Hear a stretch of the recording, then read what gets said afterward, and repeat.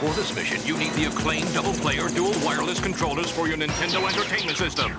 With slow motion, twin turbo rapid fire, head-to-head or team play. Get acclaimed double-player system from power to move times two.